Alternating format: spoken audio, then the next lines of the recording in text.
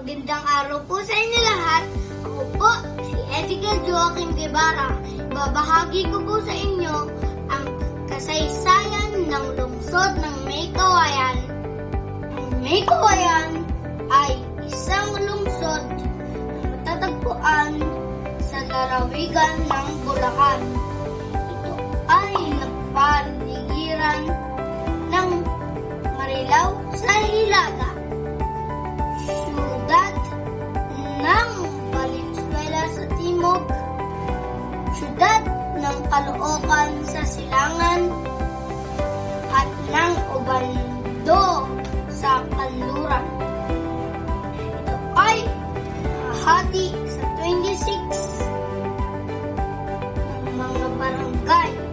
Pinangalanan ang lungsod mula sa wikang Tagalog na may kawayan.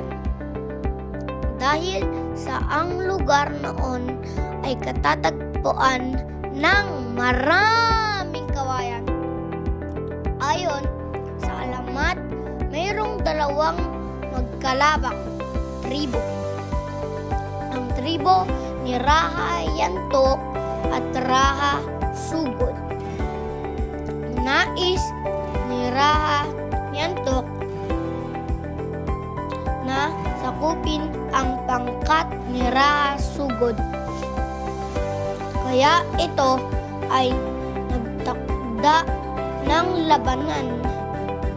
Dahil sa kanilang labanan, natuklasan nila ang isang lugar puno ng kawayan. Opisyal namang itatag ang bayan ng May Kawayan noong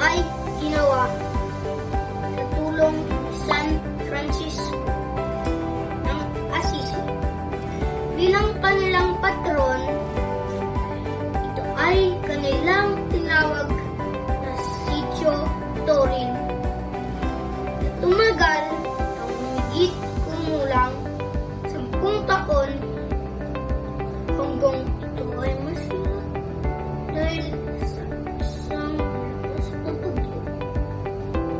Taong 1588, nilipat ang pamayanan sa isang lugar na tinawag na Lagolo.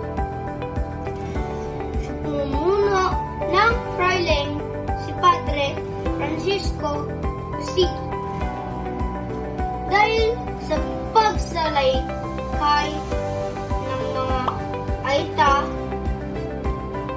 inilipat ang kabayanan sa kasalukuyan nitong kinalagayan.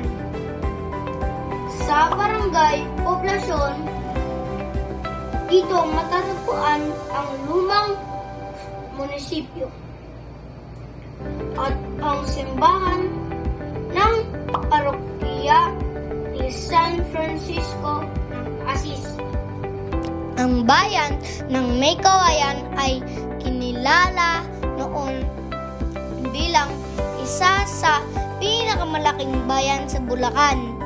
Ang mga bayan ng San Jose del Monte, Bukawe, Marilao, Valenzuela, Obando, Santa Maria at Pandi ay nasa ilalim noon ng pamahalaan ng May Kawayan. Noong panahon ng himagsikan, nakapag-ambag ang may kawayan ng mga dakilang anak di, nito upang tumulong sa pagpapalaya sa ating bansa.